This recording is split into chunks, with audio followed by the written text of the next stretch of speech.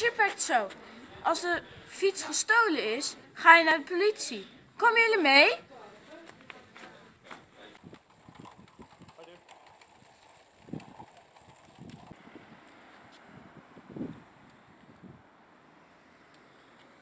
Eenmaal bij het politiebureau aangekomen, dan ga je aangifte doen. Je geeft dan je gegevens door aan de politie. En als er een poli- politiecontrole is, komen ze snel gestolen!